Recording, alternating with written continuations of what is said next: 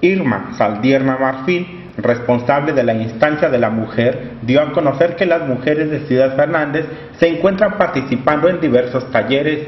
Saldierna Marfil terminó dando a conocer que se prepara un merecido homenaje para la mujer fernandense. Sí, claro, este, estamos trabajando en coordinación con el ICAT, con el Servicio Nacional de Empleo. Tenemos actualmente cinco cursos uno que se está llevando a cabo en puestecitos, ese es con un apoyo de beca, es un curso de manualidades. Aquí en la cabecera hemos iniciado con un curso de elaboración de piñatas. Eh, están ahí cerca de inscritas cerca de 35 personas, también es de mucho beneficio para ellas.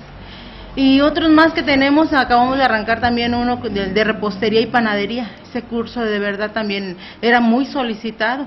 Eh, tenemos, logramos eh, tener los los, los artículos necesarios, todo el equipo que se requería para llevar este curso. Era un poco difícil, pero al final de cuentas tuvimos muy buenos resultados y está muy entusiasmada la gente.